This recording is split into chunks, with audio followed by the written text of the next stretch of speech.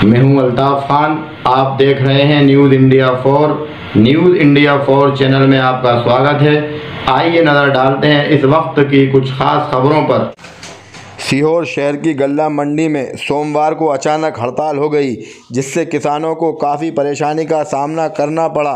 बताया गया है कि हम्माली की दरों को लेकर मंडी प्रशासन और हम्मालों के बीच मनमुटाव चल रहा है, जिसके कारण आज हम्मालों ने काम बंद कर दिया और नारेबाजी कर चक्का जाम भी कर दिया। उल्लेखनीय है कि इस कारण लोगों को भारी परेशानी का सामना भी करना पड़ा और रोड भी काफ़ी देर बंद रहा।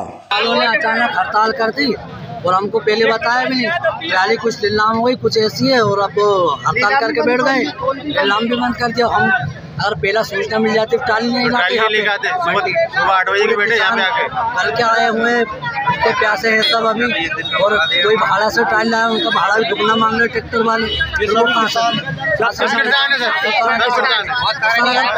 पहले हमारा हमको बता दे हम टाली नहीं लाते घर में हड़ताल करते तो बताए नहीं अचानक हड़ताल कर दे हम कहाँ जाए हमारे पास तो यही है कि हम चक्के जाम है कर रहे हैं? वो पैसा पैसे बढ़वाने के चक्कर में। के लिए चैनल को सब्सक्राइब करें लाइक करें एवं शेयर करें।